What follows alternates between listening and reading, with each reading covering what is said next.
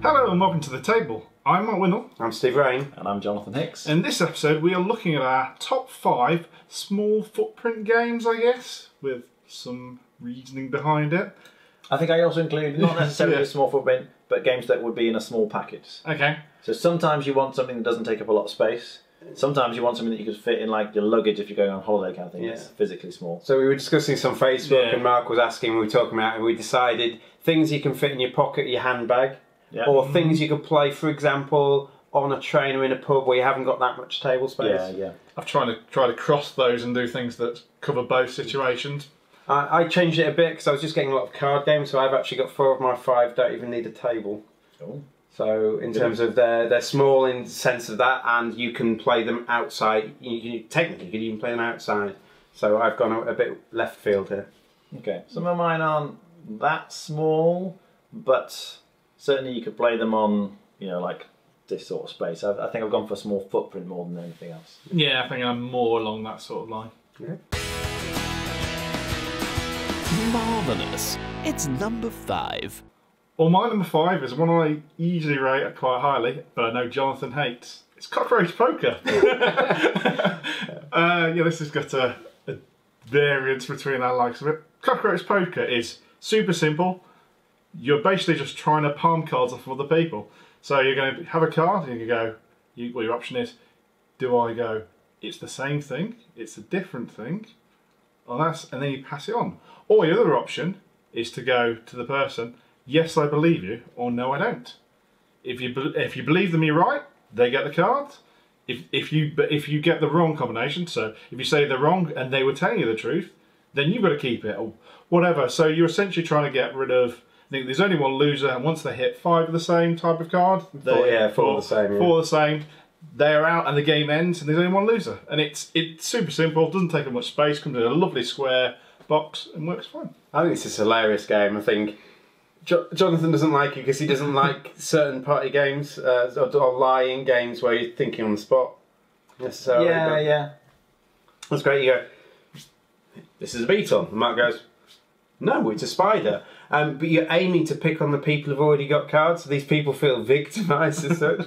Um, and you're trying to, and some people t- go really quick and try and get away with going really quick and trying to pass the book, and some people spend ages trying to work out if people are bluffing or not. I think it's a very good little card game. I like it.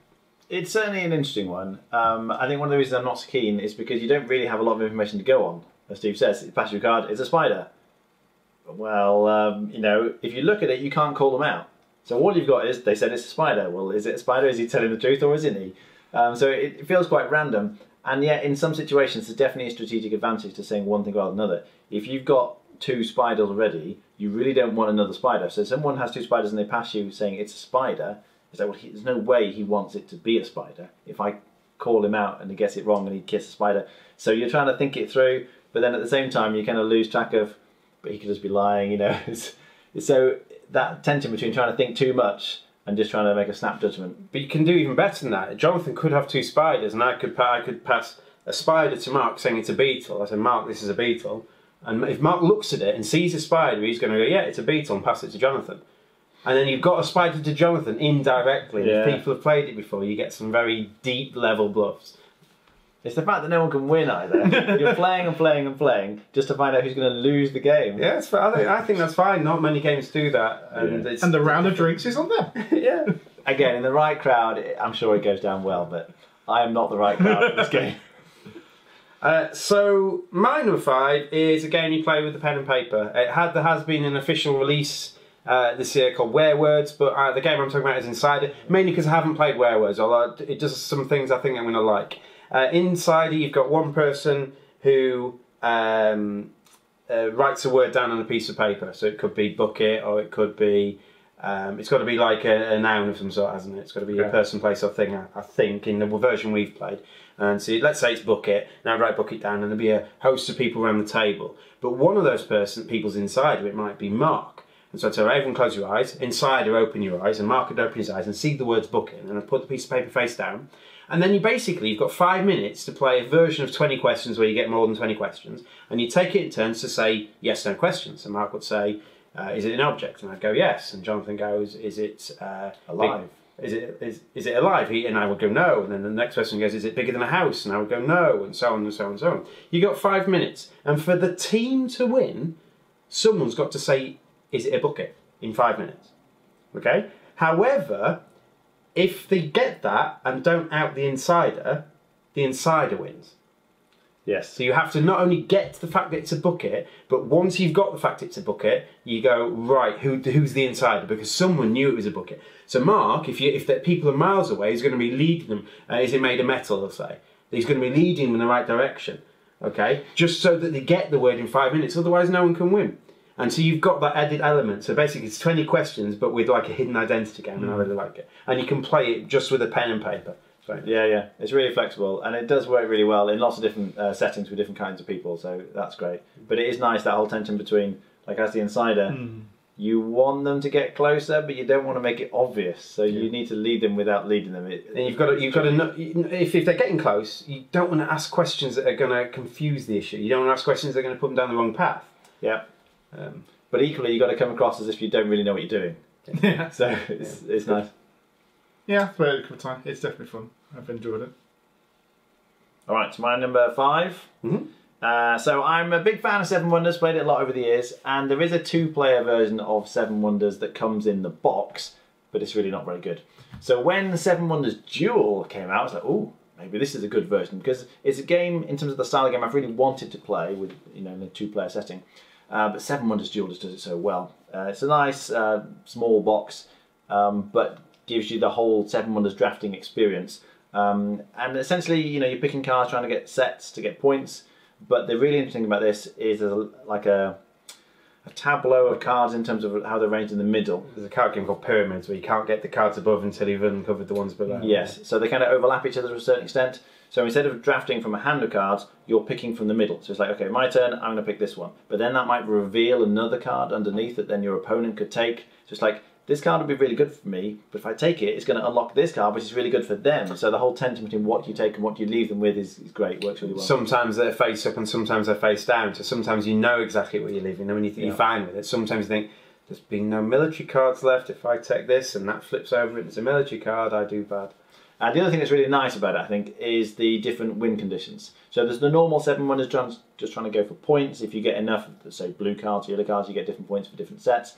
But if you get a certain number of military symbols, like more than your opponents, like a tug of war, if you manage to pull this um, military icon token thing far enough to one end, as soon as it hits your end, you just win instantly. Doesn't matter how many points anyone's got, you just win. And the other one is the science victory. If you get enough of the different science cards, again, you just instantly win. So I've seen it actually won all three ways. Yeah, I agree. Mm-hmm. Probably just as much as commonly as any other. It, it can be quite tricky to stop somebody who's got quite a lot of military from getting more because of the whole thing of where the cards are. It's like I really need to get this one. Oh, but he's going to get the military. I'm going to have to stop him from getting the military, and mm-hmm. it's just great. It works really well, I think. I like the expansion because it adds the twist in that you can stop your turn essentially. You can take an action outside of that main board, Okay. which allows you to stop that. Because the one thing I find with playing more and more, it can become a little predictable because you can sort of see the path. I mean, you don't you know what cards are coming up entirely, but you can sort of see the path as it works through. I've conceded the game to you before at the third age when I realised that in five turns' time you'd get your last sign symbol. I And couldn't, you can't stop, do I anything, couldn't yeah. stop you, so I quite like that. I'm probably not giving this game justice because I think a lot of people seem to like it. I don't like it. Yeah, I was surprised actually. I remember I played it with Steve. I said, "Oh, Steve, you'll like this," and he didn't. It was my it was my game we played. Oh, was it? yeah, I own it. Yeah, Right. um, but yeah, I'm not. I, I, I wouldn't say no to playing it, but I, if I wanted to play a two-player game, I've got loads of others I'd want to play. Okay. Well, I never. It's number four. Uh, so my number four is a game you can play without a table again, but you do need the box, and that is Mafia de Cuba, Ah, yes. which is uh, a game where one of you is the Godfather, and the Godfather has some gems in his box at the start of the game, and the Godfather can take some out at the start of the game. And he then passes his, it's a box of cigars. He's very thematic. He says, "Here, guys, have some cigars." And the cigar box passes on the table. And when it comes back to him, it's invariably very empty. And in the box, uh, there are diamonds and there are rolls. So when it gets to you, so it's Mark's turn. I'm the Godfather. I've never been the Godfather yet, but when it gets to Mark's turn, he kind of flips open the lid of the box, counts what's in there. It's very important to count in there at the start of your go. And then Mark can take any number of diamonds or a role. So it can be an FBI agent or a henchman or something like that, or the cleaner or the driver. Um, so let's say Mark takes four diamonds and Jonathan gets there and he goes, There's not many diamonds left. Maybe Mark took diamonds. I'll be the henchman and I'll try and out Mark and so on. He passes around and gets back to the Godfather. And then the Godfather can ask someone what they saw, he can ask some questions and so on. So you might say, Jonathan, what did you see in the box? And you'd say, Well, I took the henchman, uh, but there weren't many diamonds when I'm there. I go, "Hmm, Mark, what did you see? And Mark goes, I took the henchman, but I passed loads of diamonds on. and so I'm, uh, I'm going to try and get it. What did you see? And you're trying to go around the people, trying to out the lie. And what the Godfather has to do is, is find all the diamonds back. Okay, and he makes guess. If I say, uh, Jonathan, did you steal any diamonds? Jonathan reveals his role. And I have some rum. I was, I'm sorry, have some rum. When I run out of rum, when I guess, and I haven't got all the diamonds in and I guess wrong, I lose. And the person with the most diamonds wins. Right. So it's not just about getting away with it, it's about getting away with it with the most diamonds. If you just steal one diamond, the only way you're winning is if the Godfather finds all the other diamonds bar yours.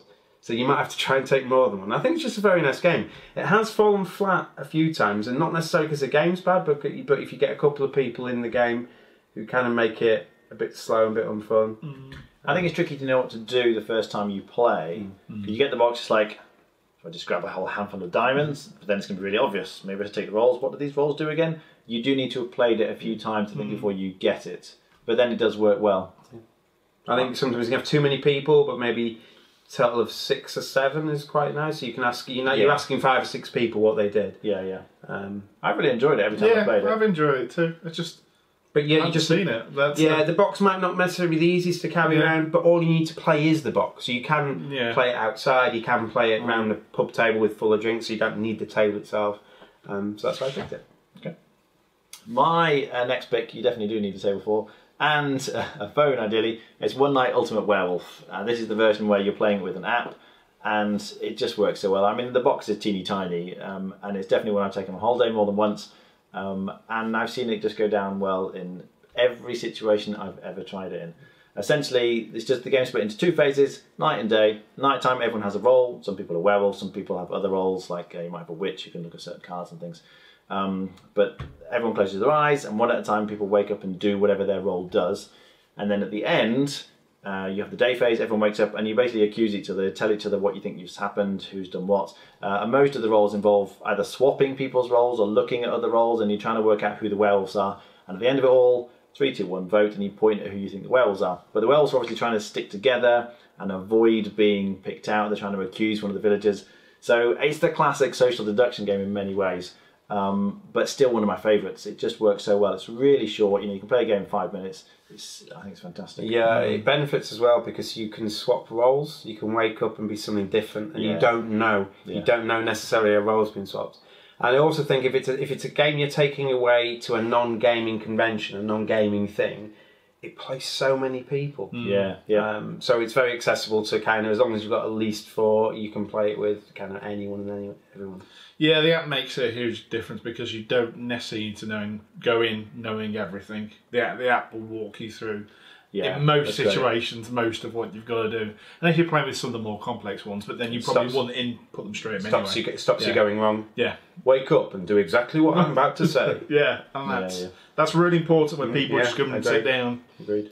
Because I, the game it's based off is just called Werewolf originally. And as a student, I played it loads, and I've run loads and loads of different games of werewolves in lots of different uh, groups of people. But this one does it much better. It's much shorter, and as you say, having the app means I don't need to be sitting out telling everyone else what to do. I just let the app tell everyone what to do, and I can play as well. So really enjoy it. It's one of my top top games of all time. Let's go back and look at your top 30, all the way through. uh, my one, I guess, is sort of a chess variant in a strange way. It's the Duke. nice yeah. little. Yeah. Uh, I've played a few times. It's really fun. Essentially, it is a chess variant. You're gonna, but with pieces with have different specific moves, which is like chess, but a large, much bigger range of moves than chess. Yeah. What's really quite cool as well is once they take an action, they flip over, and now their move has cha- their their things that they can do where they attack has changed. And because of that, it's just small. It is it plays in similar to chess, but you're just sometimes adding tiles to build your forces. Sometimes you're uh, getting things in position. You've just got to keep keep alive. It's um, I don't really to explain because it isn't like just where you start with everything on the board. You gain pieces when you want to gain pieces and out of the bag at random as well is also Yeah. important. So you don't know what you're gaining. So you either move a piece Yeah. or you add another piece to the board. But if you all you're doing is adding pieces to the board, there's a limit because you can only put them next to your king piece or no, your duke piece. Um, so they're going around taking your stuff, and all you're doing is adding to the board. However, you can move your piece. So your king piece, I think, moves one forward or one back. So if I move him one forward, he flips over. And now he can only move one left or one right. So if you're trying to avoid being taken, you think, brilliant, if I move two spaces that way, but I can't. Yeah. Um, and all the other pieces do the same. You think, brilliant, ah, the king's right there. I can move two forward, and then two forward again, and I've got him. I move two forward, I flip. Oh no, this moves differently. Uh, and it's quite nice like that. It's very clever, and there's the different. Um, you can play with different pieces each time, can't you? It's not just a fixed set of pieces, so it adds variability. You know, a lot of modern board games um, do variability uh, really well in terms of whether it's special powers or different setups for the game, and this takes chess and adds that variability, which is really nice. Extraordinary. It's number three. All right, my number three is my favourite, what I'd call conventional card game to a certain extent, um, which you can almost play with a normal pack of cards, but it just has four extra special cards that get added in, and that's Tichu.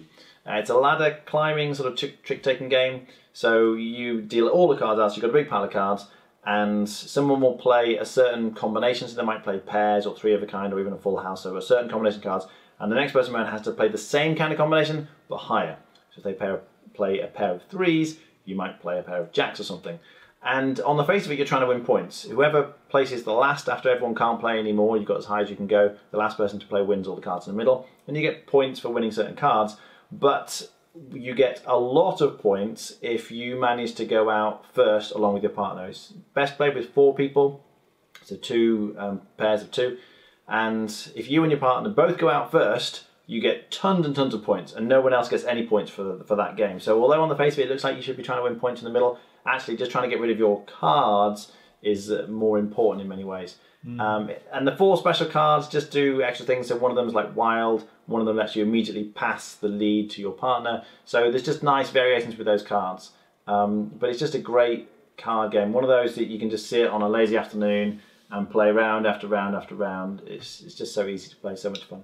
Its biggest strength is the cooperative nature of it because you think it's, you're not just being selfish. I can get out here. I've got such a good hand. No one can stop me. I know I can. But if I do that, it's two v one against my partner. Yeah. Maybe I say, okay, I'm not gonna. I can get out later. I'm just gonna let my partner win. If my partner's winning the trick, but if they beat my partner's trick, I'll come in. Otherwise, yeah, I'm gonna let my partner hold the lead. Yeah, yeah. um, giving him chance. And so that cooperative nature to it makes this game for me. Although I, I love bridge, so I quite, I kind of already partial to that sort of game. Yeah, I wouldn't choose to play if it wasn't two v two. I think it's just a much better game. Yeah, there are rules for like three player games or something, but I'd say just So, always four player 2v2. And then we'll figure to play the Grand Tichu rule and Yes. let's see what I can do. Yeah, yeah. One of the great things about it, which is I've never seen in any other card game, is it's a particular combination of cards uh, called a bomb. So, for example, if you have four of a kind, that's one way of getting a bomb. And a bomb can be played at any time. So even if it's not your turn, you know, Steve's just about to play his hand, and I go bomb, and he just jump right in, um, and the bomb beats everything. So it's, it's really Does it, it does it beat a higher bomb? It doesn't beat a higher bomb, does it? No, so if you play a bomb, a higher bomb will beat the bomb you just played, Yeah. like anything else. Um, but in terms of all the other possible combinations that could be played, a bomb can always be played, and it just beats whatever's been played. A lot of points in the middle, and they've just played two aces or something. You go, ha ha ha. But it's hard. Again, it has that whole you're passing cards at the start, but so after having dealt the cards out, you give one card to your opponent. Each of And opponents. that and that is another strength. So I played a very similar game in college, which is why I picked Teach Up really quickly. Yeah. Um, but the, that was individual. But the passing of the cards to kind of filter your hand and make it better. yeah, Uh, this single four, I don't want that, and my partner. Oh, I've got a queen. I don't really want that. I'll give that to my partner. yeah. Um, and that's really strong. Uh, this one for me is a game that I kind of have enjoyed the more I've played it. I didn't expect to like it as much as I did initially, and that is the game, or Yeah. and to a lesser extent the game Duel, but that's different. But also kind of sim- similar, where so you have two piles of cards, some going up, oh, two sets of two, isn't it? Going yeah, up. in the in the full play. Yeah. game. Oh. So you have two that start at zero and go up, and two that start at nine, it's 199 and go down.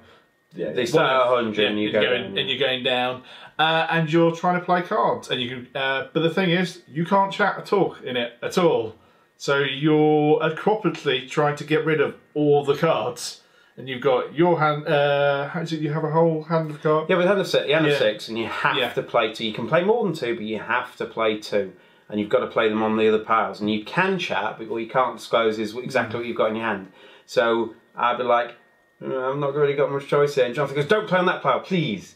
Uh, I'd like to play on that one. And he said, Mark, what about you? And Mark goes, Yeah, one of those two's fine. Um, but you're not allowed to disclose information about the hand. And the nice bit about it is you can improve the car, improve the piles by going ten backwards. Yeah, that's or really 10, nice. 10 the other way. Yeah. Um, so if you never go ten the other way, you're going to lose the game, and it's com- it's uh, it's a cooperative thing. So you're trying to work together, and at some point you think, oh, if, if I can play on that tour, I can go ten back. I said, Jonathan, d- please leave that for me. Okay, I would like to go there. People might know what you've got, but as long as you're not adamant, you say I can I can improve that pile. Um, you, you you know there's there's license. And sometimes there's nothing you can do. You're going to end up stuffing everyone up because sorry. if you've got a bunch of high cards like 80s and 90s, it's fine at the start because you can start to play them on the 100 and you're not bringing it down by very much. But then after you've gone down past 80 on the high piles, it you know your cards that are like 80 or 90, the only place you can play them on the piles that are going up. Well, if they're only on 20 and you take it to 80, it's like, ah, you've almost killed us already. But sometimes there's nothing you can do. So uh, there's a nice tense. It's very much had that play a game straight away. Lots of times I played, you'll play two or three games trying yeah, to beat it. yeah, yeah. And it's quite nice in cooperative games. Like it's very quick, and the the chance of you beating is very low. I think maybe even even as ten percent, maybe Oh, really? times. I mean, how many times have you won it? Not very often. I think maybe twice ever, maybe two or three times ever, maybe. Yeah, Um, I've got right through the pack, but then some people struggle to get the remaining cards out of their hand, which you that's the to do as well. difficulty. Yeah. Yeah, yeah. Um, but yeah, it's a very good game. I like it. I also quite like the face to face one as well, Yeah, the two-player one. Um, which is not cooperative; it's competitive. yeah, which is interesting because normally The two player um, version is it's the cooperative. cooperative yeah. one, yeah, but they made it competitive and it works well. I like it. All right, my number three is uh, a game of hidden information. I suppose it is Spyfall, and again, you don't need a table for Spyfall if if you um, you, just hold on to the cards you've got. And in Spyfall, you've got eight minutes to find out who doesn't know where they are. So we all get dealt some cards out, and say, "Oh, brilliant! Oh, I'm at the cinema," and Mark goes, oh, "I'm at the cinema," and Jonathan goes, "Spy," and then I'm at the cinema, and everyone knows at the cinema. And what you're trying to do is you um, you you're asking each other questions. Okay, and so I'm asking, you know, how's how's the light in here, Jonathan? Uh, it's um, it's a nice warm light Yeah, because I don't know where we are. Um, so yeah, he doesn't know exactly. He might think we're, maybe we're near a fire or something. And if obviously if he's asked first off, but if I ask Mark, Mark how the light is, and Mark goes, "It's pretty dark," it gives Jonathan some information. Because Yeah. there's like a grid, isn't there? You can see Yeah. the possible So locations. there's like 20 different locations, and you've got eight minutes to try and out the spy. At any point, you can say, Stop, I'd like to vote on Jonathan being the spy or Mark being the spy or something. And you go, Yay or nay. Yeah. Um, too many nays, fine, you carry on going. But at the end of the eight minutes, you go a bit like the werewolf game. You go three to one, you vote for the person. If you out the spy, they get one guess as to where they are. If you don't out the spy, they win. Um, and that's as simple as that. It's quite a nice game. Uh, I think it's great. I think you can ask some really weird questions, um, really weird answers. Very nice. It says, you know, we were at the space station once, and I said, "Would you bring your kids here?" And Jonathan goes, "Yes, absolutely." it's really hard as the spy because if you hesitate and like, um, uh, well, um, that's right, it just gives it away immediately. So you sometimes I think just have to take a risk and be confident. Most of these places would take kids, yeah, definitely. Yeah. Oh, space station. Um, but you've also got to be careful with the question you ask. If you ask a really weird question for the place you're in, yeah, um, so, so people, I can't. I'm trying to think of one here, but you you can be clever if you're on a pirate ship. You goes, are you going to, you know, whatever, you know, you get the idea. But you try and give information with the question you're asking as well, and other people go, yeah, I like that question. I think Steve does know is from your question. Um, which can be the only way you let this game down is that there's hesitations between questioning and answering. Um, uh, you can't make you can't just go and blurt out the first question you come to because that might make it too obvious to spy or might not give the spy enough time to think. But if you're sitting there for 20, 20 30 seconds trying to think of a question, it probably slows the game down a bit. You need the right kind of player or experienced players or something. I've seen this fall flat a few times, and that's the only issue with it. But it, when it works, it works well. Some people just don't like being the spy.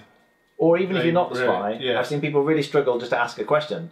It's like, okay, I know we're at the beach, let's say. I have to ask a question that makes it obvious that I know we're at the beach, but doesn't give away we're at the beach. And What do I ask? And mislead. And you've got to try and ask a question that's going to out the spy if you manage to ask the spy. That's right. So people just sit there going, uh, and everyone's like, oh, come on, we're just, we're just waiting. And, and then you end up going, "Do you come here often?" yeah. What's the weather like? Yeah. Um, but yeah, so that's Spyfall. Ah, spiffing. It's number two. So my number two is Hanamikoji. I think I can pronounce that correctly. Yeah. Which is a I pick you choose game.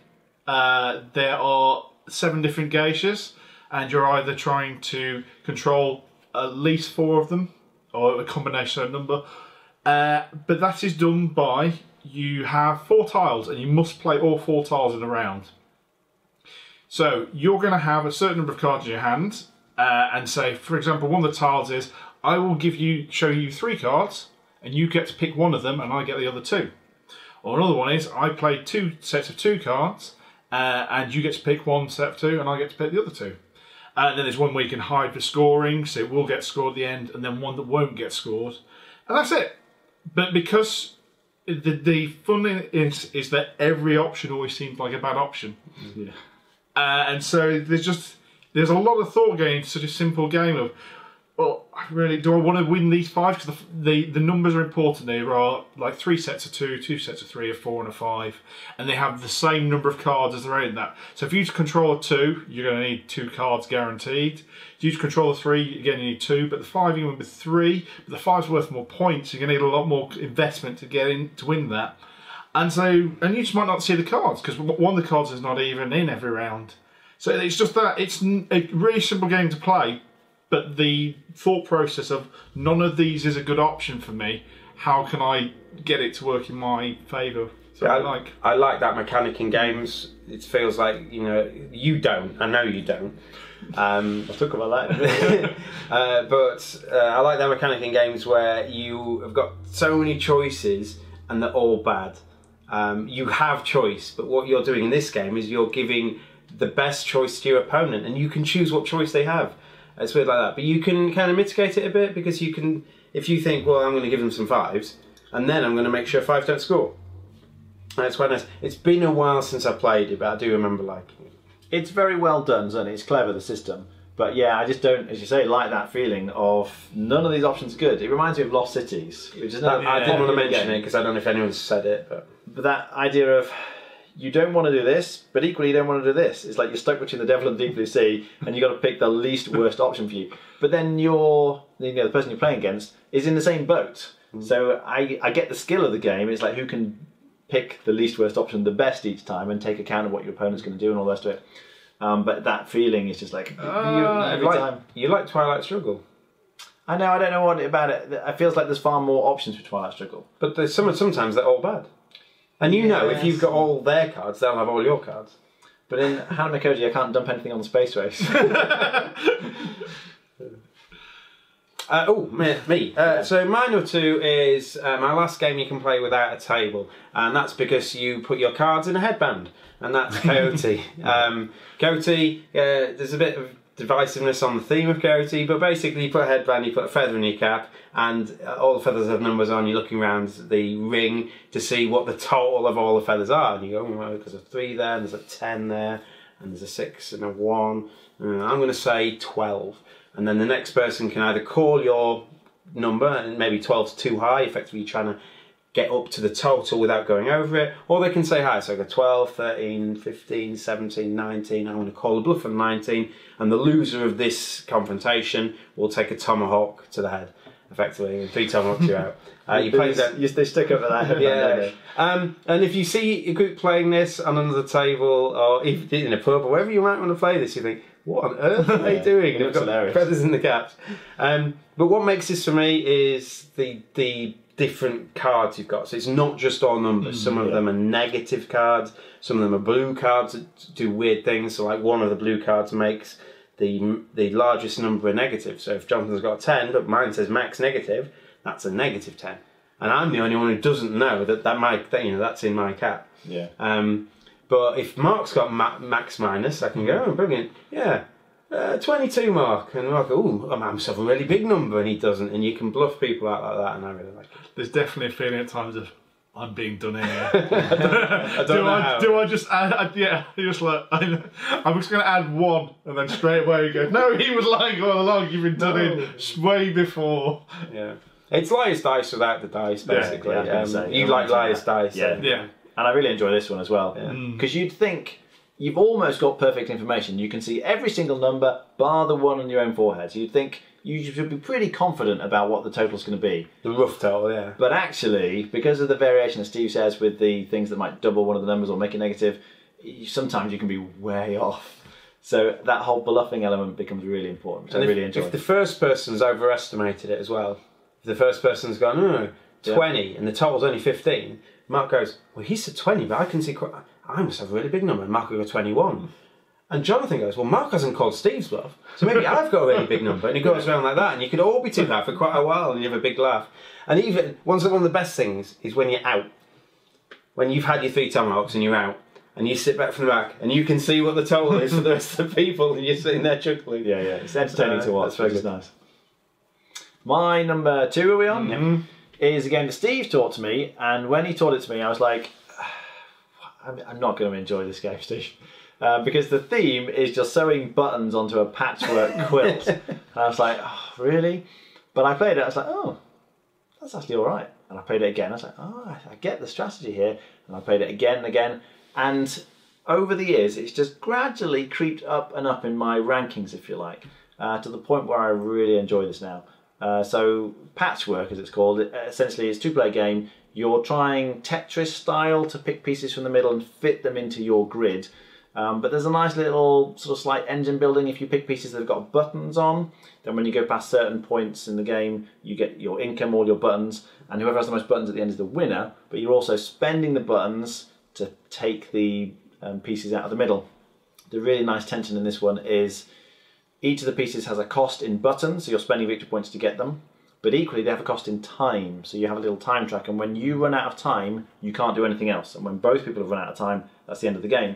So you might have a piece that's really cheap in buttons, but uses lots of your time. So you want as much time as you can to get as many pieces, but you don't want to spend too many victory points to get it. It's like ah, it's, it's really well done. I don't think I can improve on this game if I try. It's so well done, and if you take something with a lot of time, your opponent could get two or even three turns in a row. Yeah, yeah. That's different. It's not just alternate turns. It's whoever's last on the time track. So or if they don't take a big bit of time, they get another go, and then they get another go. So if you take too big a leap of time, it might be a really good piece. Obviously, if it's worth a lot of time to turn to your board, it probably is quite a good piece. But the risk in letting your opponent have like three choices before it gets back to you. And sometimes you can predict what choice your opponent's going to have before it's their turn. Yeah. You think, well, if I take that one, no, they'll get that, so I won't. I'll do this instead, um, and then they're forced to give you the good option. When you look around at all the different pieces that are available, some of them are definitely better than others, but it's not always obvious which ones are the good pieces. And it sometimes depends on your situation, because at the end of the game, you lose points for every empty square on your quilt, so you want to fill up as much of the space as you can. Um, so It's kind of a risk reward, is in you've Yeah. got to value every piece, and every piece's value will change as let alone as you move around the time clock, but as the state of what you've got options available. And it's a continuous moving system because of that. Yeah. So you're literally just have to go, how good is that piece to me right now, or the next piece, or the next piece, and how good is it to the, uh, the other player as well. Because at the start of the game, all the pieces with the buttons on are very valuable because you keep getting that income throughout the game. Near at the end of the game, the button pieces are no good to you at all. You just mm, want to fill up the Fit- yeah. space. It is the, n- the the first game I'll suggest to any couple or two people come. Don't have to be you know don't have to be an actual couple. Just two people come into the cafe and play. They're like, "Oh, just looking for two player gaming suggestions." I'm like, "Patchwork," but I have to preface this by saying. It's about sewing things onto the quilt, but don't let that put you off because if that's what you get told about a game and you're not really into games that much, you go, really a bit like Jonathan was in his first reaction. I just have to insist how good it is when people give it a go. It's that good. By Jove, it's number one. Okay, so now it's time for our number ones. But again, we still don't have the Between Two Cities cards. So Steve was very kind to come up with the question of what was the last board game we played?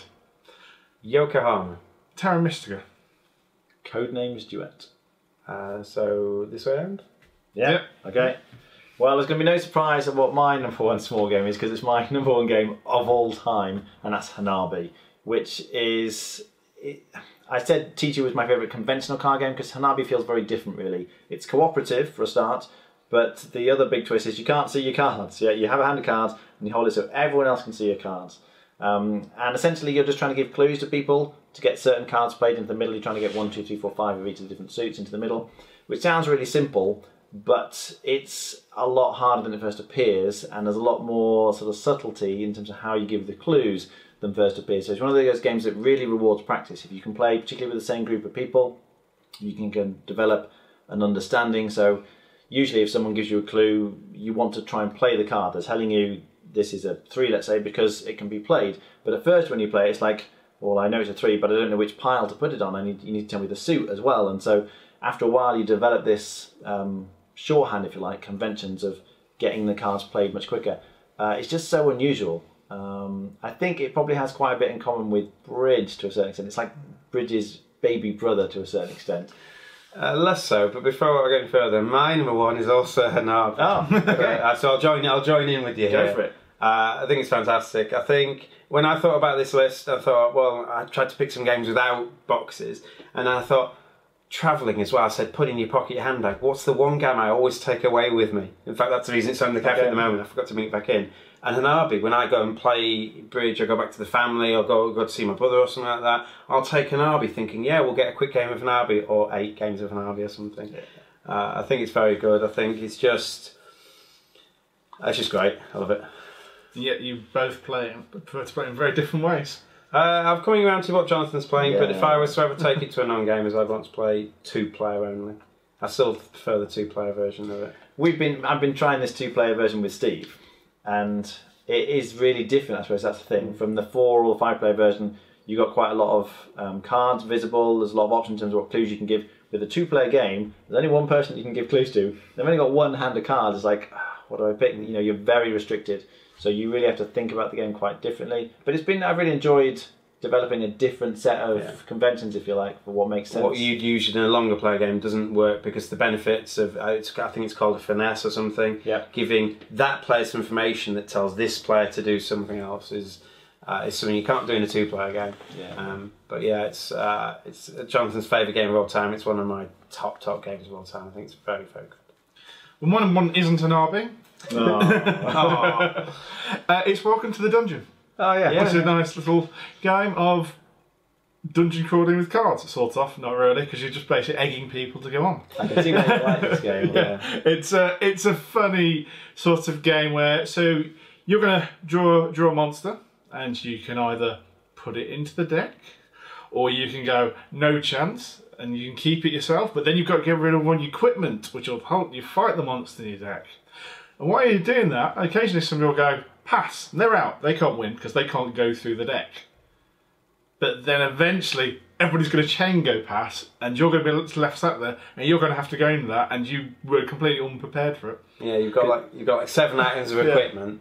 Um, but the only person to go in the dungeon is the last left standing. Because there's just one hero, just to make this clear. Everyone is effectively bidding to take this one hero through the dungeon and fight this one set of monsters. Yeah, but initially there's no monsters in. So well, well clearly I'm not. Go- I'm going to pass. There's no monsters in. I've got all my brilliant equipment. I'm not going to pass. That's a dragon. Well, with all that equipment, I can I can fight that dragon. I'll, I'm going to put that dragon in the dungeon. And then Mark goes, "Oh, it's a zombie. Yeah, a zombie's easy. I can fight that zombie." And then Jonathan goes. Oh, they're getting a few monsters in there. Yeah, yeah, that's okay. And then my next thing, oh, it's another dragon. Oh, I can't fight two dragons, so I'm going to throw the dragon away um, and take his shield away. And the, the, the more monsters get added in, the weaker the hero gets. And he's like, Yeah, he's probably going to fail now, so I'm going to back out. I'm going to pass, and the last person left in is the one to take them through. Uh, it's first person to succeed twice. Twice, yeah. Yeah. But you also go out if you lose twice, Yeah. so which I suppose is the biggest negative that somebody can go out really early. But I don't mind too. Well, yeah, you do have to lose twice Yeah. in a row. I don't mind too much because it is fairly short, Yeah. and I like the fact that you can effectively put something in which you know is going to make it really, really difficult. Um, but you have to hope that nobody's not passed by the time it gets back to you. that's right. I said there's the whole bluffing thing of, oh yeah, yeah, that's fine. I can definitely do that. And inside you're thinking, whoa, you don't want to go through there. Because if you take that monster out, but take out the equipment that someone else knows is going to fight the monster they put in, you're like, oh, oh, I'm not going in. Yeah. So if you like, if you take if you take this this demon out and take away the sword, but the sword kills the dragon, and then the person who's put the dragon in goes nope, and then Mark Not a goes, chance. well, he passed quickly, nope, and then the person who's who's not only taken the sword out that fights the dragon it has to be the one to fight it. Yeah, and each round you get a different hero, don't you? Yes. Yeah. So There's you a get few like a different mage, spots. Four, and then- You yeah. keep swapping them out. That's right. Yeah, so you fight monsters in different ways, which is quite nice. Yeah, it's nice. Uh, I've played it quite a bit with um, the kids and uh, nephews and nieces and things, and they all really enjoy it. It works. It's a well. weird push your luck game, but it is basically a push your luck game at heart, isn't it? Yes, with the bluffing element. That's Yeah. what I really like about it. But you don't have to lie. You don't. You can just go in. You don't have to put on that act about you know. Yes. Oh yeah. Oh. But even I find even the kids like doing that. so I mean, it's pretty obvious when they do it. So they'll pick something up and go, "Oh no, I don't want to fight that," and you know it's just a little zombie or something, and it's oh, that'll be fine. Yeah. So, any other honourable mentions? Uh, I had quite a few because obviously I, I restricted my list down to um, things that you could take away from a place and play without a table. There are a lot of small games, I think, though. If you don't have that restriction, but Yeah. Well, I potentially could go on. I was. I was just looking down at the cafe's games, the the little small box games on the shelf. I'm like, oh yeah, Tichu's good, and Six Nimmt, well that's a good card game, and No Thanks, that's a good card game. I was just getting card game after card game after card game. I didn't want a list of five card games, so I restricted it differently. But yeah, there's so many little good, even just two player card games or so and so on. Even a pack of cards. I mean, a pack of cards is Yeah. a great thing to just do because there are so many things you can do with a pack of cards. No, just said Codenames. Uh, it was on the top of my list actually. It was the first one I wrote down. Um, Codenames was the first one I wrote down, and another one I thought would be done, done, or two other ones I thought would be done would be Hive and uh, Love Letter, Oh, Hive, yeah. I did think about Love Letter. um, because it's just not just a small footprint game; it's sixteen cards. Yeah. It's such a it's, it's probably one of the games with the fewest components in that I know. Um, but yeah, so Hive was a game that um, I lost my copy, I'm afraid, and so I haven't played it in quite a few years. But that's a good travel game as well. Yeah. you can just Yeah. Okay. play that on any surface, I guess. I've on holiday. I've often taken away those the boxes kind of this sort of size. So the Lost Cities size um, or the Patchwork size box. There's quite a few of those um, boxes that that size, and it's a really nice size for taking on holiday. Often two player games. Um, the two player version of um, Agricola as well. The All Creatures Big and Small. I really like that one. That was another short list for me. Well, I've got um, one of the magic deck boxes. Any Oh, card okay. game can be stripped like Hanabi's in a deck box because I Yeah. ta take it around so much. I don't want to get it beaten round. If you take it in a box, you have to either put elastic band round and the box gets battered. Um, so just like a deck box for like a, some sort of collectible card games, great for taking things like Tichu and No Thanks and Hanabi Yeah, yeah, true. uh, around. Obviously, I've gone down a different path with when it's a small footprint. I think, oh yeah, that means I can take it places. But yeah, um, Yeah, well, that's been good. Anyway, so that's been our top five small footprint games, and we've been The Table. I've been Mark Windle. Steve Brown. Jonathan Hicks. Good night. See you later.